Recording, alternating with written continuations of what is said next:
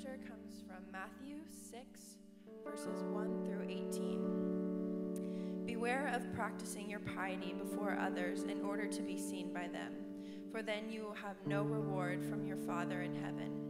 So whenever you give alms, do not sound a trumpet before you, as the hypocrites do in the synagogues and in the streets, so that they may be praised by others. Truly, I tell you, they have received their reward. But when you give alms, do not let your left hand know what your right hand is doing, so that your alms may be done in secret, and your Father who sees in secret will reward you. And whenever you pray, do not be like the hypocrites, for they love to stand and pray in the synagogues and at the street corners, so that they may be seen by others. Truly, I tell you, they have received their reward. But whenever you pray, go into your room and shut the door and pray to your Father who is in secret, and your Father who sees in secret will reward you. When you are praying, do not heap up empty phrases as the Gentiles do, for they think they will be heard because of their many words. Do not be like them, for your Father knows what you need before you ask Him. Pray then in this way Our Father in heaven, hallowed be your name. Your kingdom come, your will be done, on earth as it is in heaven. Give us this day our daily bread, and forgive us our debts, as we have forgiven our debtors. And do not bring us into the time of trial, but rescue us from the evil one. For if you forgive others their trespasses, your heavenly Father will also forgive you. But if you do not forgive others, neither will your Father forgive your trespasses. And whenever you fast, do not look dismal like the hypocrites, for they disfigure their faces as to show others that they are fasting. Truly, I tell you, they have received their reward. But when you fast, put oil on your head and wash your face, so that your fasting may be seen not by others, but by your Father who is in secret. And your Father who sees in secret will reward you. The word of the Lord.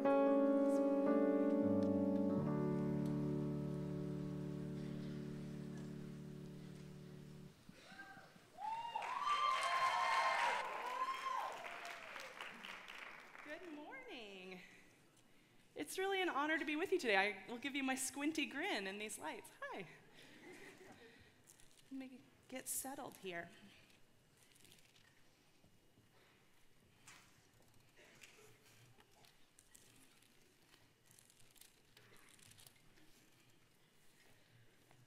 Would you join me in prayer before I begin? Oh, Lord, thank you. You have met us here already this morning. Thank you for the faithful leadership of the staff of spiritual development and of these students who are so uniquely gifted by you.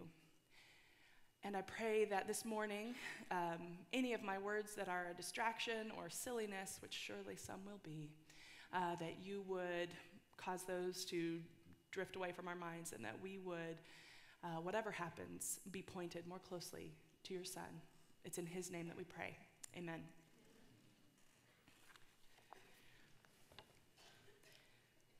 In this section of the Sermon on the Mount that we encountered this morning, Jesus gives directions on almsgiving, that is, kind of giving to charitable causes, giving to people in need, on prayer and fasting, and we often focus on its restrictions for how we are supposed to engage those. Um, we're not to give in a showy way. We're not to pray in ways that seek to express our eloquence. We're not to fast in, in ways that um, aim to get, garner pity from others, right? And that focus on altering our behaviors is right. Those guidelines are meant to shape the way Christ followers express our faith. So, in this season of Lent, it's probably a really good thing for us to pause and take notice of the vast ways, I'm guessing, in which we fall short of living up to Jesus' instructions to us here. So we're going to start with that. And I'm tempted to take a show of hands here, actually. So if you feel so led by the Spirit, go ahead. But um, how many times have you found yourself seeking approval from other people for, for your giving, for your generosity? Anyone? Is it just, oh, you're actually participating? Good. Yes. Um, when you give a charitable gift, say like an online crowdsourcing sort of thing, do you click the leave my donation anonymous or are you like, no, please, Kara in San Diego gave this? You know, do you do that sort of thing or is it just me? Um, If you hand a package of socks and toiletries to a person who lives on the street, do you expect an expression of gratitude, like a thanks would be nice for that, thank you? Um, or do you report your good deed to friends, maybe feigning a bit of casualness? Yeah, like I just carry around some things with me to give, you know, no big deal. Um, if you can say yes to any of these, as I certainly can, then maybe we need to reread Jesus' Sermon on the Mount, which tells us but when you give alms, do not let your left hand know what your right hand is doing, so that your alms may be done in secret, and your Father who sees in secret will reward you. Now, moving on to the next section where Jesus restrains the way we pray. As a minister and Bible professor, I'm particularly offended here, okay? I'm just gonna say that. Um, praying in front of my classrooms and truly praying in concern for the students in light of the day's scripture readings, in light of world events, that's, these are a means of grace for me. I love doing that. I also care about words and how the words we use shape our imaginations and point us to Jesus. And so when Jesus says, when you're praying, do not heap up empty, empty phrases as the Gentiles do for they think they will be heard because of their many words. Do not be like them, for your Father knows what you need before you ask Him. When Jesus instructs us about how to pray afterward, we may think the Lord's Prayer sounds pretty fancy. It includes language like hallowed and thy and thine, right? But that's simply because we as a church have, for some reason, decided to stick with that passage only to the King James Version. We've, we've line in the sand, 1611 or nothing for me, folks. Um, but this prayer is actually really a bare bones phrase, a, a, set of phrases, acknowledging God is absolute and God's rule in our lives, and then asking for really the basic things of what we need. It doesn't say, give me that car with fast acceleration or what. I don't. I shouldn't have used cars. I know nothing about cars. So I can't even name can't even name anything. That Toyota minivan, don't, uh, it doesn't ask for that. That's actually, that's my dream car right now. Okay, anyway. that proves I'm in a different life stage than many of you here. Okay. This is really a bare bones prayer that asks for our most basic needs and asks that God would help conform us to his way, that we would live as citizens of God's kingdom, not the kingdom of this world. It's really asking that in the most basic ways. And so again, I find myself convicted. My prayers, my words often are meant to impress you, to impress students, and to impress others. this is hard.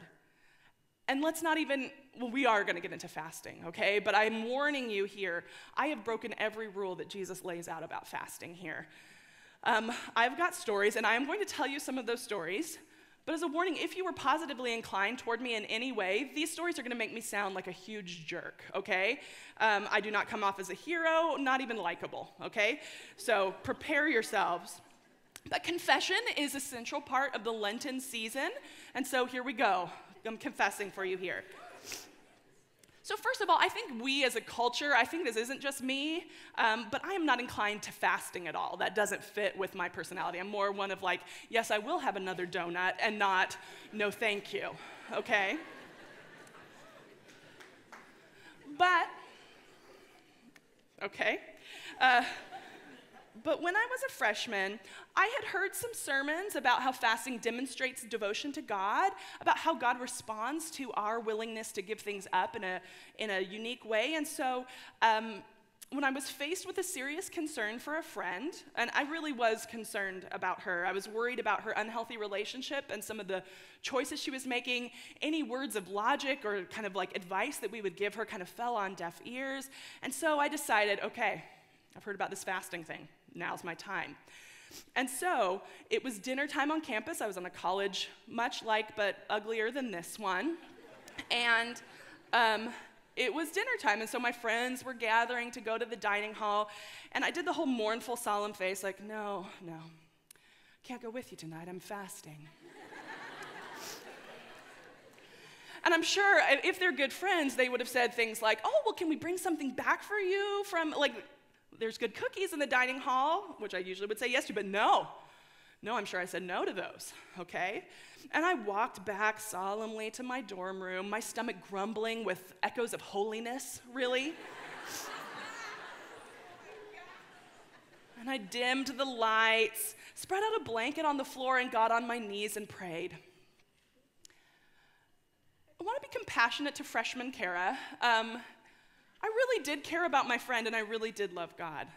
But at the same time, there's something really laughable about freshman Kara, too, because I never prayed on my knees, like ever. And so, but this occasion was the one in which I needed to really perform my devotion in the quiet of my room. I, it felt more spiritual in some way. So I prayed and I cried, or at least I tried to cry, I'm guessing. Read some Psalms, prayed some more, read a devotional. Time was going pretty slowly and I was hungry, okay?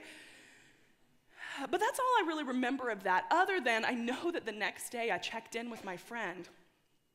Pretty sure that that fasting investment was going to pay off quite rapidly. How's it going? Any relationship news? You know, that sort of thing.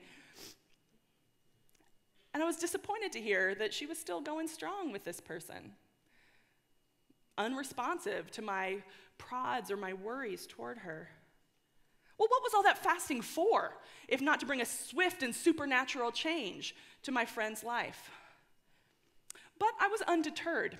This first, first um, foray into fasting didn't um, disappoint me, and so I did attempt some different fasts in years to come. You know, um, during the Lenten season, I was becoming acquainted with this ancient Christian practice of giving something up, of, of self denial in service of um, a focus and leading up toward um, the cross. And so I'd give something up, maybe spending excess money or um, meat. One year I gave up meat and would when I fell asleep in class, and I did fall asleep in class, I would um, dream about chicken nuggets that year. I don't even like chicken nuggets that much, but that's what I dreamed about. As time went on, I went to seminary, and I really did grow to cherish not just the performance of Lent and of Ash Wednesday, um, but I cherished this, this season in which we focus on our own mortality, our own sinfulness, um, and I loved the imposition of ashes on Ash Wednesday. But, okay, I'm just making sure the picture's not up there yet. Okay, I'm warning you. Embarrassment is gonna come, my face is gonna get redder than it is now.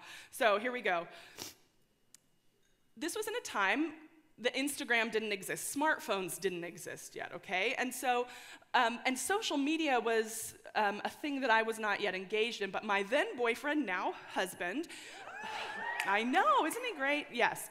Um, he introduced me to this website called Flickr. Anybody familiar with Flickr at all? So people would upload like artsy pictures, and it was really the first time that I engaged in like web commenting and stuff, and you could like things or whatever, um, and tag photos and put them in albums. And I got really into Flickr, and um, this last week, I, I decided I need to go back and look at it, and I gained access to my long dormant account that's there. And I realized two things. Number one, I was a very early adopter of the selfie, and so I'd like to take some credit for really pioneering that art form.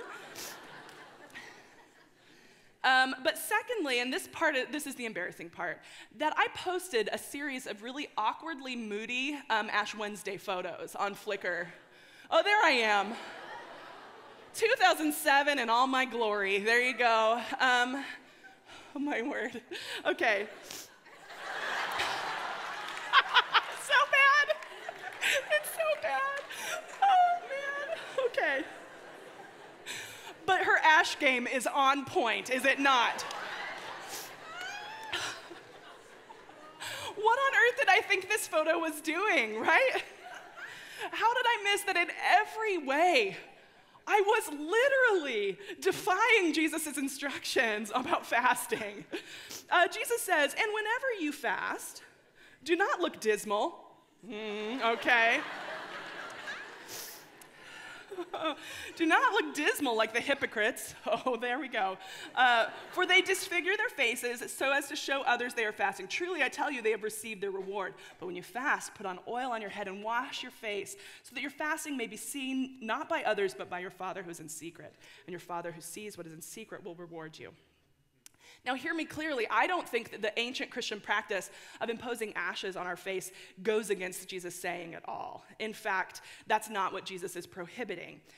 It is the hamming up of these minor sacrifices and showing them off, showing this deprivation off to garner pity that Jesus has in mind.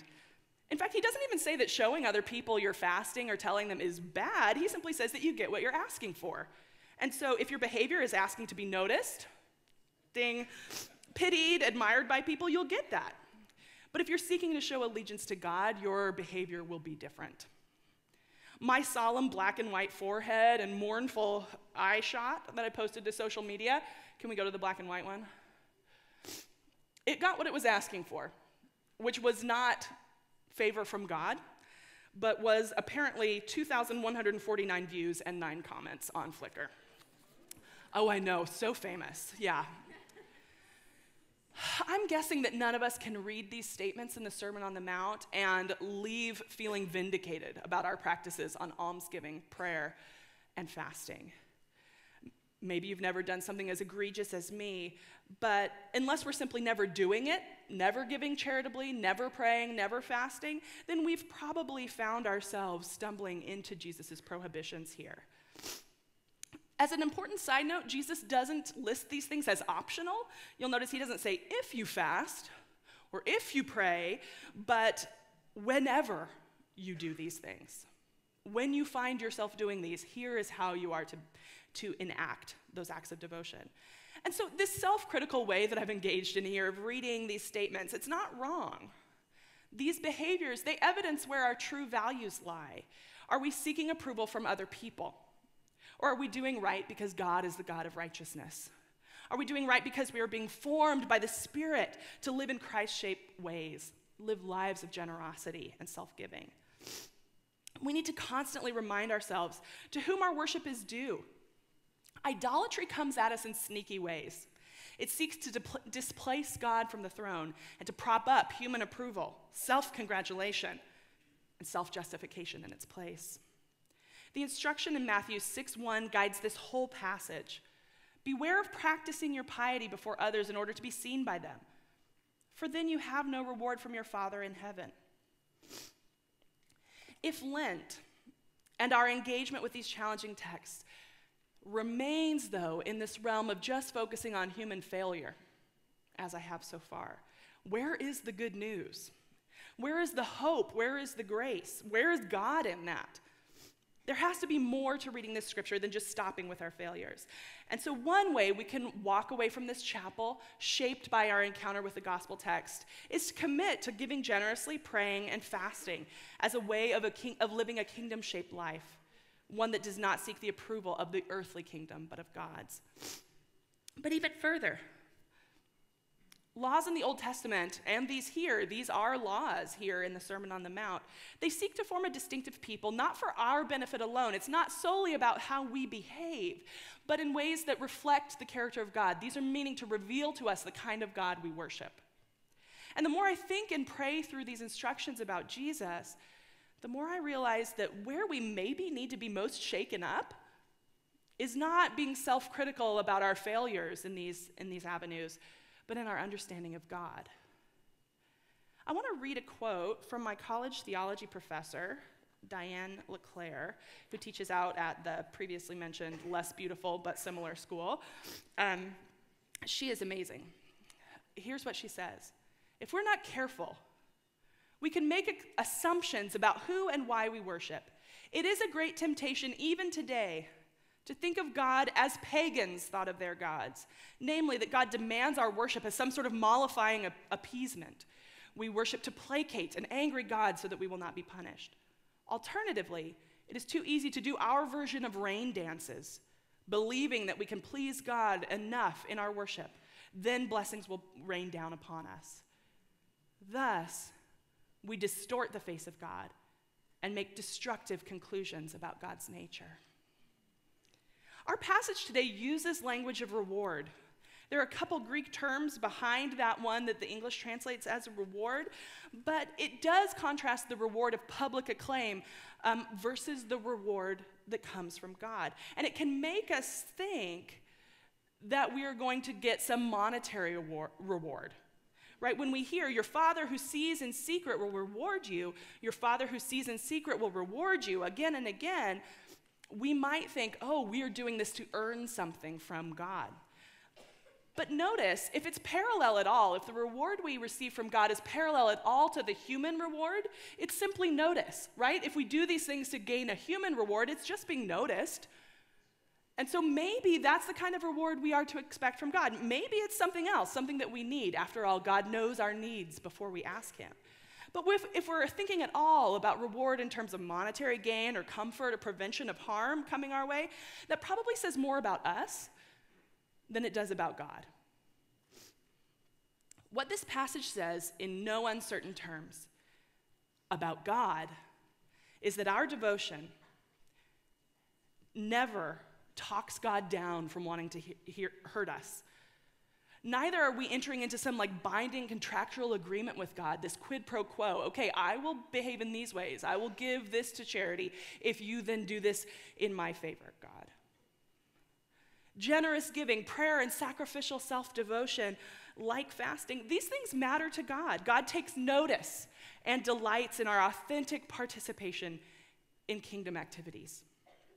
And yet, doing them doesn't somehow change the accounting of, of God's favor somehow, moving things, moving debts from our ledger onto God's side or something, if we only pray a certain number of prayers or something. Just like my fasting over my friend's ugly relationship situation, our acts of piety aren't just like coins we put into a heavenly um, snack dispenser or something that issue out miracles. The results are not guaranteed. And in this season of Lent, and really year round, we would do well to practice caution. And here I'm talking about caution about what we claim to know about God and God's ways in this world. We've really domesticated and diminished our Lord when we think that simply by demanding something in prayer, be it healing, restoration, prosperity, or whatever, even good things, means that God is obligated to respond in the ways we've prescribed.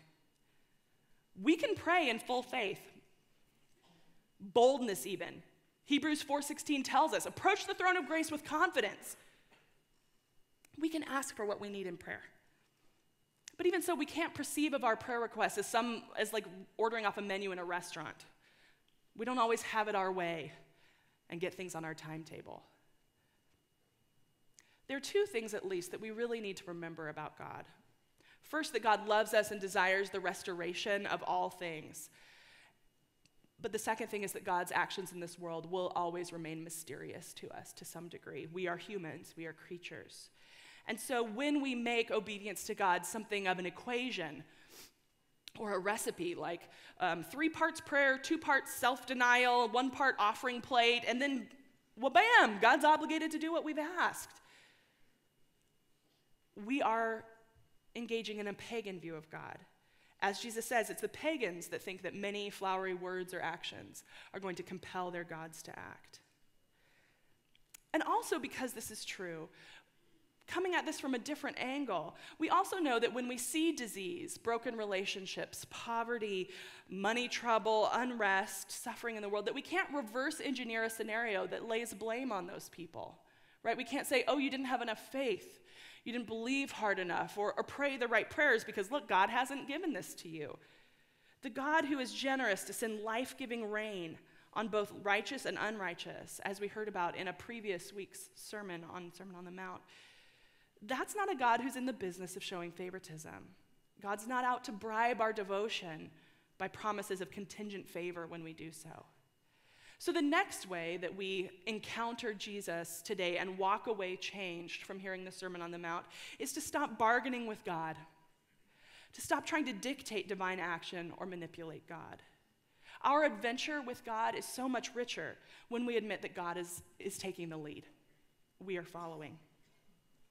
And so I'd like to share another personal story. And at the outset, I'm going to uh, reiterate that our culture is really saturated with this sort of karmic conception of what we do um, causing the, the universe to respond to us in certain ways. Um, many people of great privilege, like many Americans, like myself, my nose is running, that's weird, um, many people like me think of the universe in sort of a Santa Claus sort of formulation that being nice equates to getting what you had on your Christmas list. Um, and we think about that in our whole lives. And in my experience, it's really easy to know the right Christian things to say and kind of avoid the ways in which that cultural idea, that cultural idolatry that says how we address God can bind God into action, that, that sneaking um, poison, really, that's in our culture is easy to avoid in our lives and to say the right Christian things and kind of ignore the ways in which that has a grip on our hearts until, until we confront a real tragedy, a loss, a grave disappointment, an obstacle that is truly beyond our control. Others I know have really had to confront what they think about God and how they, and how they perceive God to respond to them when they have lost a loved one or face serious illness themselves. For me, um, both times I've been pregnant um, have really been the sparks that shook me to re re look at how I perceive of God acting in the world. And so, I, again, talking about pregnancy in a room where I'm guessing the majority of you have not been pregnant. Um, many of you will never be pregnant by virtue of your sex or choice. Um, and so, you're, you're going to have to just take my word for it. Uh, talk about when, when I hear about my, when I talk about my firsthand experience here. But in my experience, in both of my pregnancies, I found myself defaulting to some degree of kind of magical thinking. The idea that if I say the right things, do the right action, take the right vitamins, pray the right prayers, I can guarantee that I will be safe and that my baby will be healthy. I would lay awake at night worrying about whether I'd counted the right number of fluttery movements in my uterus, right? I would rack my brain over whether, in the most recent ultrasound at the doctor, did they actually look at the chambers of the heart or did they just say they needed to? I can't remember. Maybe if I think about this right, I will fix it somehow. I don't. I don't know what I was thinking, but any story I'd hear about another child who suffered with an illness or misfortune would just rattle me leave me deeply insecure. How can I fix this? How can I control this? How can I make this right? One day I finally just expressed my exhaustion. I bemoaned that making my pregnancy go right seemed totally out of my control. I couldn't make this work for me. And I wondered out loud to my husband, I wonder if this baby even knows I'm out here. And that made me stop to think, what a weird question to ask, right?